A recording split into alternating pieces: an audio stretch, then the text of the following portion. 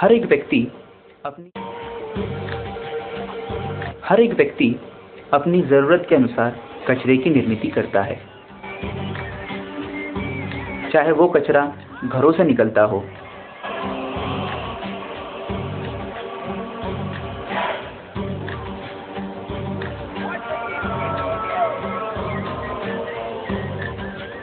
रास्तों में जमा हो, अस्पतालों से निकलता हो या उद्योगों से निकलता हो।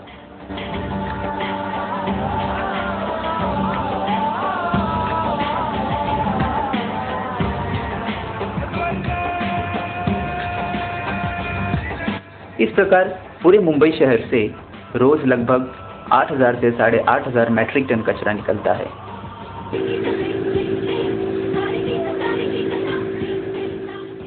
क्या आप जानते हैं कि इस कचरे पर भी लोगों का उदर निर्वाह होता है? इस सत्य घटना पर हम रोशनी डालेंगे। आइए, हम मिलते हैं वर्षा नगर भीमाशंकर सोसाइटी में रहने वाली केसरबाई गायकवाड जी से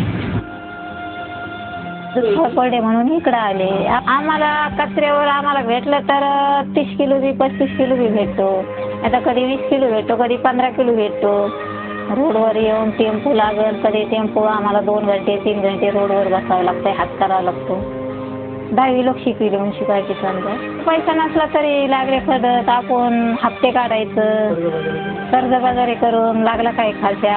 आपल्या जन्म शिकवायला भेटत नव्हतं ना पुस्तक लागलं का काही त्याला खर्चा लागला. त्याच्याबद्दल मग आपण ते काढून सनी त्याची बराबरी करायचं त्याला काय कमी पडलं तर ते द्यायचं. असं करून त्याला शिकवलं.